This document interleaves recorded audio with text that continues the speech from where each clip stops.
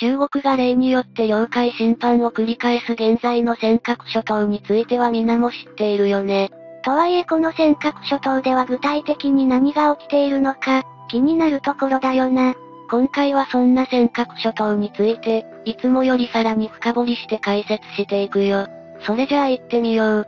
ゆっくりしていってね。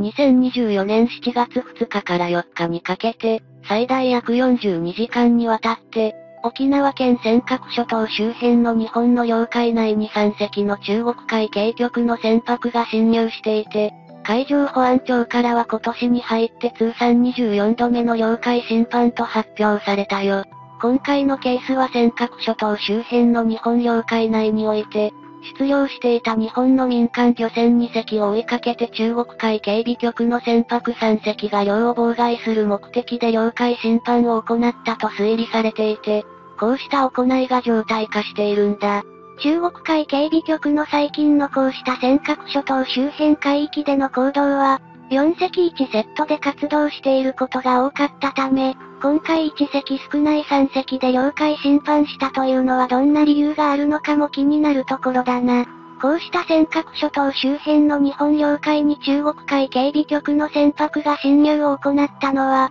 直近では2024年6月24日以来とされており、今年はすでに通算で24度目になっていて、月平均4回、同様の事態を起こしている計算になるぜ。沖縄県の尖閣諸島の周辺海域が管轄エリアである海上保安庁の部署は、沖縄本島に本部がある第11管区海上保安本部だが、同本部では引き続きこうした事態の警戒と監視を続けると表明しているらしい。ここ近年、海上保安庁の活動は日本国内の大手マスメディアでも、こういった尖閣諸島周海域での中国船舶との対峙のニュースが取り上げられることが多くなっていて、海保が日本の領土防衛の最前線にいるという感じを受ける人も多いみたい。そういった海上保安庁を歴史の上から追い立ちを紐解いてみると、創設されたのは太平洋戦争敗戦から3年後の1948年昭和23年に遡り、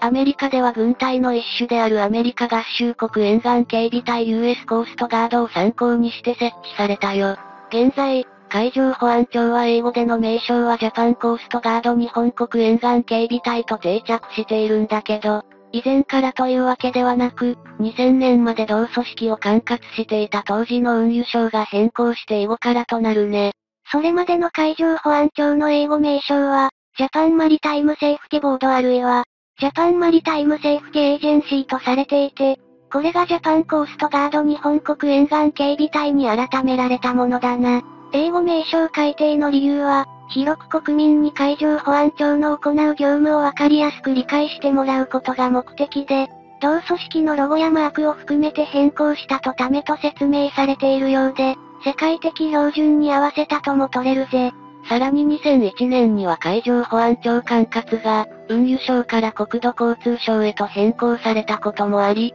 以後同組織の船舶等には全てジャパンコーストガード日本国沿岸警備隊の表記が施されるようになったね。日本における海上保安庁のあり方は法治国家の原則に鑑みて、海上保安庁法によって規定されていて、その第一条において活動領域は自国の領海接続水域排他的経済水域及び、日本とアメリカの SAR 協定に基づいた捜索救助区域と考えられているよ。しかし現在は、実際の海上保安庁法第1条では海上保安庁の活動範囲は海上という非常にアバウトな文言が記述されているのみで、日本を取り巻く沿岸部のみに限定せず、必要に応じて世界中で活動することが想定されていると言えるだろうな。ただし海上保安庁が1948年に設立された際、県の第一条は活動範囲を港湾海峡その他の日本国の沿岸水域と記述とされていたんだが、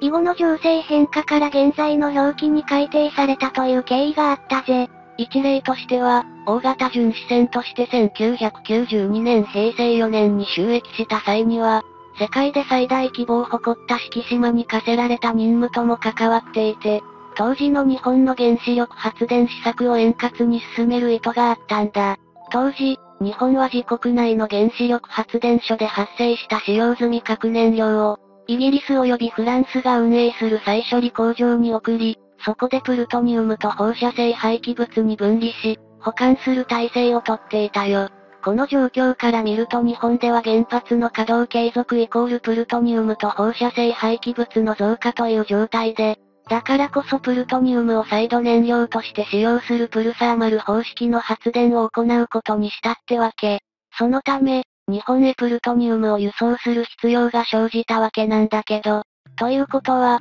核兵器の材料となり得るプルトニウムを外敵から守る手段を講じる必要が生じました。まずイギリスからのプルトニウムの輸送のため、同国の貨物船に武装要員を同乗させたんだ。続くフランスからのプルトニウムの輸送には日本の晴れ新丸が従事したが、この艦船には64式小銃を装備した海上保安官が同乗した上に、さらにフランスやアメリカの海軍艦艇が護衛任務につけられたぜ。2011年平成23年3月11日の大災害による原発事故を目の当たりにすると、そこまでして原発が必要なのかとも思うけどな。こうした流れから以後は日本独自でプルトニウム輸送を護衛する船舶を用意することが検討され、海上保安庁がその任に当たることになったよ。ヨーロッパから日本までおよそ2万回りもあるんだけど、保安上の理由から無機港で航行可能な船舶が求められたんだ。そこで目的履行のために建造されたのが大型巡視船の敷島で、総トン数7175トン、全長150.0メートル、全幅16.5メートル、深さ9.0メートルのサイズで収益時には世界最大の巡視船だったぜ。敷島は機関部には4機のディーゼルエンジンを搭載し、最大速力25ノット、航続距離18ノット、巡航で必要な2万回りを確保し、乗組員は110名と航空要員を別に30名を収容、回転翼機2機も運用できたらしい。兵装としては90口径 35mm の連装機銃を2機、20mm バルカン砲2機を搭載。海上保安庁の巡視船としては2024年の現在でも最も重武装な巡視船であると言えるクラスのものだな。こうして建造された巡視船敷島は収益年の1992年11月、計画通りにフランスからプルトニウムを輸送した暁丸の護衛任務に従事したが、それ以後はプルトニウム輸送が中止されたため、通常の巡視船として運用されることになったわけだ。この初代巡視船敷島は2024年4月には老朽化のため退役していて、当初は改修工事をして収益年数を伸ばすことも検討されたんだけど、32年に及ぶ収益期間を終えたよ。こうした海上保安庁の巡視船が対峙しているのが中国海警局だけど、同組織は2018年に組織再編を経て準軍事組織である武装警察管轄下に入ったため、事実上、中国の第二海軍というべき位置づけに変化したんだ。2012年、日本政府が尖閣諸島を国有化した時点では、保有船舶の総数は海上保安庁がおよそ50隻、中国海警備局がおよそ40隻で日本側がリードしていたが、今や完全に逆転されてしまったな。2024年時点では海上保安庁保有の船舶総数は約70隻だが、中国海警備局船舶の総数は実に160隻に迫るくらいに増強されていて、この12年間で4倍になったと見られているぜ。ただし日本にとって幸いなのは、中国は尖閣諸島を含む東シナ海だけでなく、南シナ海でも複数の周辺国と圧力を強めているため、中国海警局の全船舶が日本に向けられたものではないという点だろうな。いずれにせよ、中国が海警局の船舶数をはじめとして体制強化を進めているから、日本側も海上保安庁の船舶数を増さざるを得ないよね。人員をはじめ多くのリソース拡充に予算増を強いられる状況に陥っているというのが政府の見方だよ。それじゃあ今回はこの辺で。よかったら、チャンネル登録してね。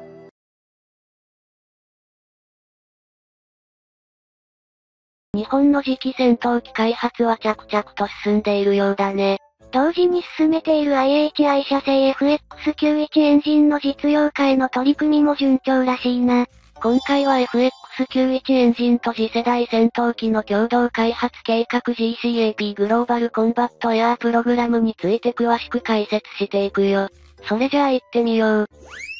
ゆっくりしていってね。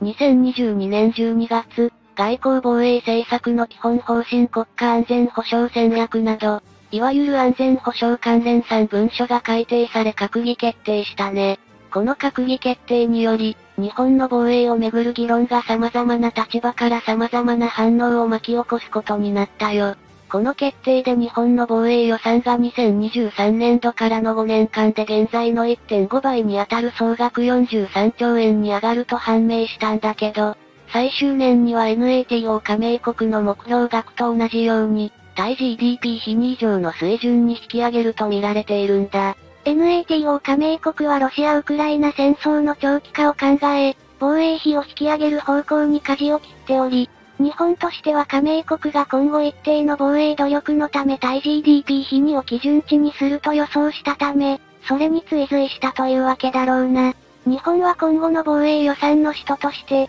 防衛力強化のためスタンドオフ能力獲得と整備を進める方向を打ち出しているぜ。従来より飛躍的に射程距離が長い兵装の購入を進めようとしているわけだ。このスタンドオフ能力の第一目的は、日本に接近する艦艇から放たれた艦対空ミサイルの阻止であり、日本を守る反撃能力を保有し配備すれば、相手の射程圏外の安全な場所から攻撃できるということになるから、つまりミサイル能力を向上させるとともに自分たちが被害を受けるリスクを極力減らし、敵のターゲットを攻撃するという論理を実現しようというわけだよ。このようなスタンドオフ能力を備えた兵装を政府は反撃能力と呼んでいて、政治的認知を得ようとメディアでも使っているけど、専守防衛という日本の基本理念に反するのではないかという意見があるみたい。日本を取り巻く軍事的現実は年々複雑化しているんだけど、前期のような議論が完全に決着することはないだろうね。スタンドオフ能力や反撃能力などの兵装が大きな注目を集める一方で、戦闘機の新しい動きが始まったらしいよ。その新しい動きが前出の GCAP だな。2022年12月9日、日本、イギリス、イタリアの3カ国が共同での次世代戦闘機開発を、正式に発表しスタートしていて、これがプロジェクト GCAP だな。日本は現在空自が運用している F2 戦闘機を、イギリスとイタリアは領空軍が現在運用している。ユーロファイタータイフーンの後継機となる戦闘機の実用化をこの GCAP では目指すということになるね。空自の中では現在こういう区分や故障は廃止されたけど、かつては主力戦闘機とそれを補う支援戦闘機という分類があったんだ。そして主力戦闘機はアメリカからの輸入もしくは国内企業がライセンス生産して調達すると決められていたな。支援戦闘機はアメリカとの共同開発が通例で、現行の F2 戦闘機も当初は支援戦闘機だったため、アメリカのロッキード・マーチン社製の F16 ファイティング・ファルコンをベースに開発した機体だったんだ。日本国内では F2 戦闘機開発について、自国での単独開発を主張する意見があったが、太平洋戦争敗北後、自衛隊の戦闘機はアメリカを含む連合国の意向で禁止され、軍備産業も抑制されていたぜ。こうした事情があるため、幹部製造は不可能、航空機開発技術も大きく後退する羽目になり、前述の通り、F2 戦闘機は F16 ファイティングファルコンを、ベースとせざるを得ず、機関部は現 IHI 社がライセンス生産したわけだ。また航空機開発に関しては日本は全ての技術をアメリカに開示しなければならないという義務を課せられていたが、アメリカは主要なコントロール部分の情報は日本側には公開せず、いわゆるブラックボックス化したため偏った契約だったな。さらに、日本の希望する F2 戦闘機の仕様変更は不可能で、政治的な問題はあったが不満の多い運用を強いられたことになり、要するに高い金額で買った買わせられたのに、客の要求は無視されたってことだ。こうした F2 戦闘機の開発での苦い経験があったから、日本は後継機開発については機関部の内製化実現を目指し、現在の防衛装備庁と IHI 社との間でそれを目的とした取り組みを進めてきたんだ。防衛装備庁からの依頼を受けた IHI 社は2010年から次期戦闘機用の機関部を目指した XF91 エンジンの開発をスタートし、そして8年後の2018年6月に試作機1機を完成させ、納入したよ。納入された XF9-1 エンジンは、2020年7月までに各種の性能テストを実施し結果として、アフターバーナー未使用時11トン、使用時には15トン以上の推力を発揮したね。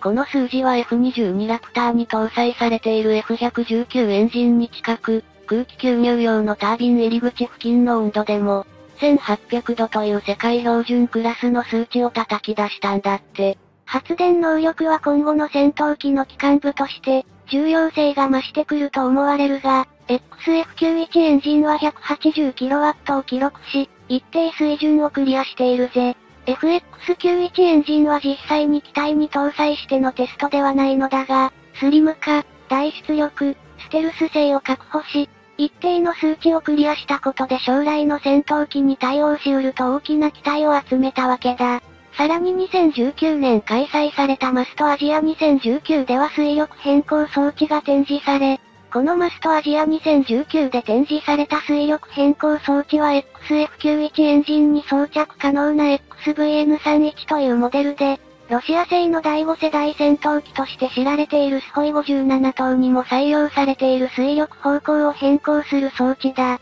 この水力変更装置の目的は、搭載している戦闘機の機動性を向上させることで、機関部からの排気角度を調整し、推進方向を制御する仕組みで、アメリカの F22 ラプターではパドル式の水力変更装置が採用されているんだって。ロシアの週37やスホイ57はノズル式水力変更装置だけど、XF91 エンジンに装着可能な、XVN31 もノズル方式で最大20度の水力変更ができるみたい。いわゆる第5世代戦闘機は、機体本体に優れたステルス性能があるから、敵の攻撃を回避できると想定されているんだけど、機敏な機動性を確保するにはこのような工夫もあるというわけだね。これまで述べてきたように、2019年に水力変更装置のノズル XVN31 が公開されるなど、XF91 エンジン実用化に向けた実際的な取り組みが着実に推進されてきているよ。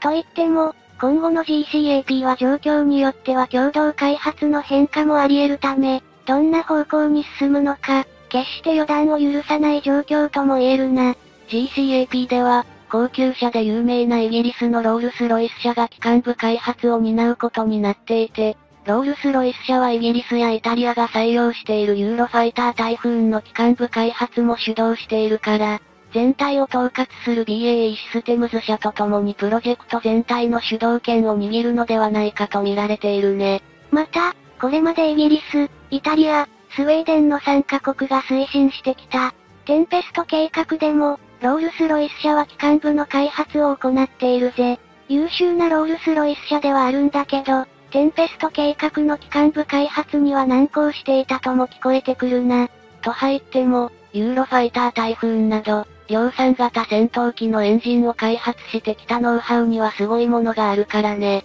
ロールスロイス社は昨今のデジタルエンジニアリングの進展により、戦闘機の機関部設計から製造までを極めて、短期間で行えるという自信を持っているという噂もちらほらあるし、GCAP でその進化がわかるだろうとも言われているみたい。それじゃあ今回はこの辺で、よかったら、チャンネル登録してね。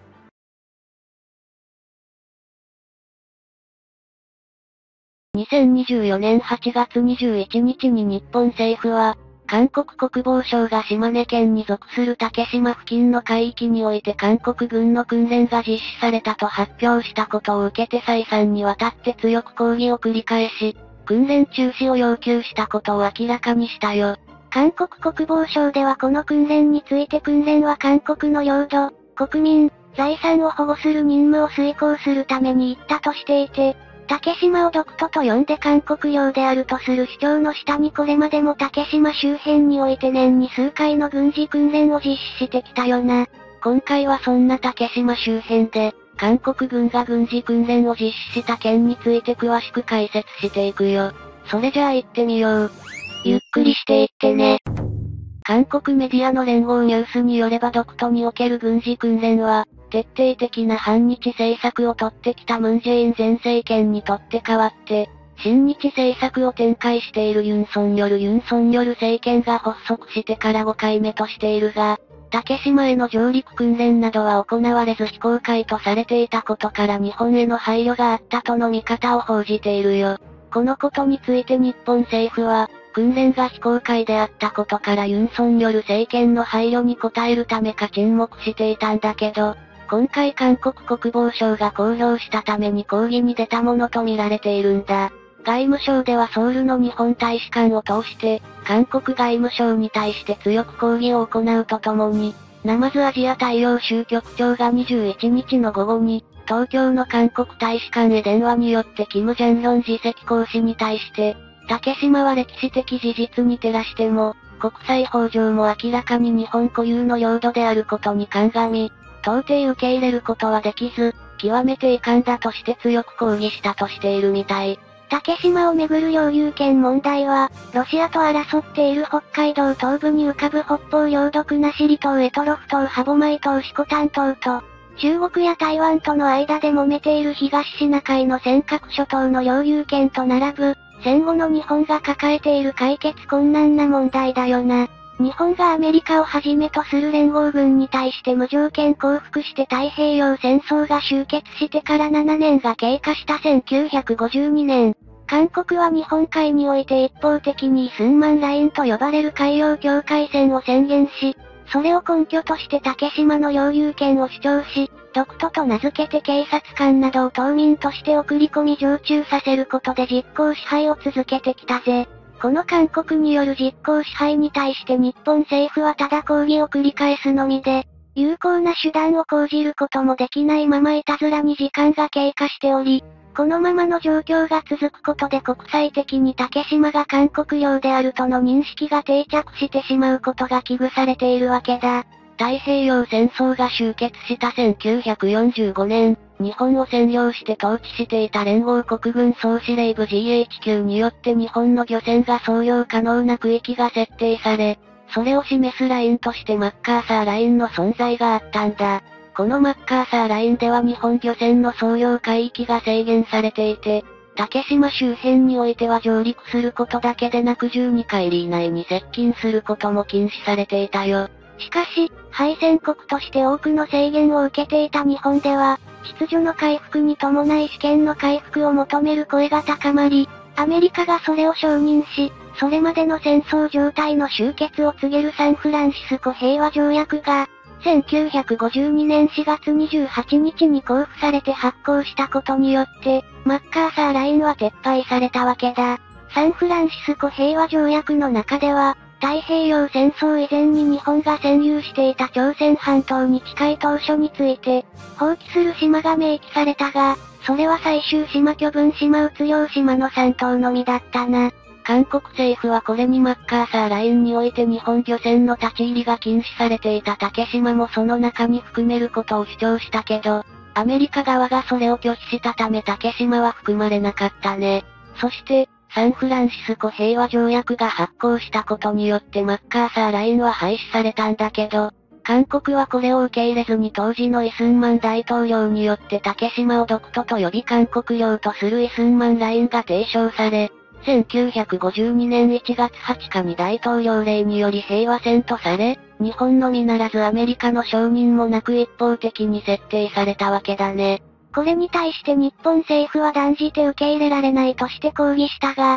韓国はサンフランシスコ平和条約を批准しておらず、国交がない状態であったため日本の抗議は受け入れられず、日本政府が泣きついたことで2月12日にアメリカ政府が韓国政府に対してイスンマンラインは認められないと通告をしたものの、韓国政府はこの通告を無視したぜ。韓国政府の主張は独と竹島について日本の領有権を認めているのはアメリカだけであるとして、連合国の総意として発行されたサンフランシスコ平和条約においても独都が日本の領土であることは明記されていないとした上で、この平和条約を批准した国の全てが独島を日本領と認めているわけではないとの主張を繰り返し、日本側からの抗議に対しては独島において領土問題は存在していないとして、法に実行支配を続けて今日に至っているな。国際法上の実行支配とは、領域試験が継続的かつ平穏に表示されているという状況下での占有状態を指しているんだが、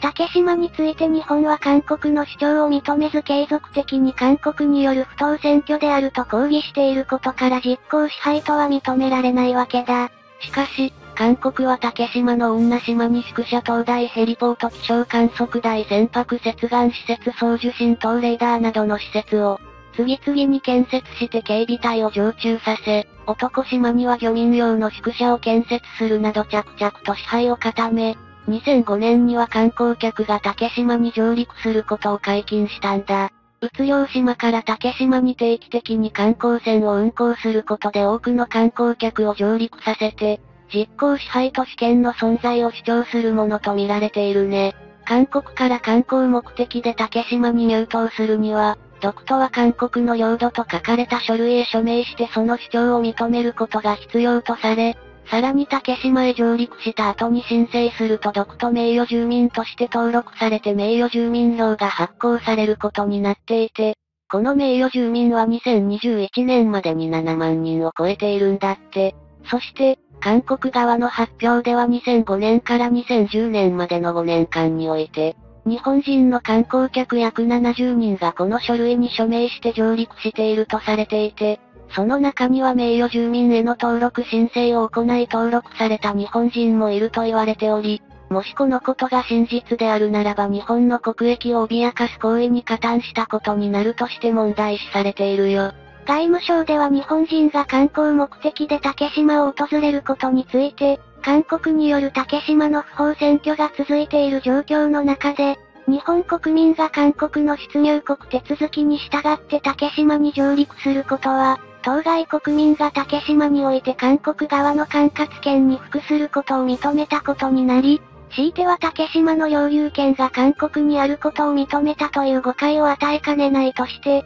決して韓国側が設定した形で竹島に上陸することの内容、理解と協力をお願いしたいとしているぜ。近年になってサンフランシスコ平和条約が発行された当時、竹島を日本の領土として認めていたのはアメリカだけであるとの主張を覆す公文書の存在が明らかにされているらしい。竹島を日本領とするアメリカの提案にイギリスの代表が同意したことを、イギリス代表がオランダの代表との会談において明らかにしたことを示す1951年5月発行の公文書が発見されたほか、同年7月にオーストラリア外務省がプサンに駐在していた外交官に宛てた電報では、サンフランシスコ平和条約の作成時に、韓国が日本に竹島を放棄させることを要請したものの、竹島の正確な位置が示されていなかったことからその主張を評価できないと書かれているなど、韓国の主張を否定する公文書が発見されているのであるが、このことについて韓国では全く触れられていないな。その中で韓国は、竹島周辺での軍事訓練や各種調査を継続することで着々と実効支配の事実を固めようとしており、日本は韓国が拒否している国際司法裁判所への提訴を単独ででも実施した上で、国際社会に竹島における領有権問題の存在明らかにすべきとの声が多く上げられているよ。それじゃあ今回はこの辺で、よかったら、チャンネル登録してね。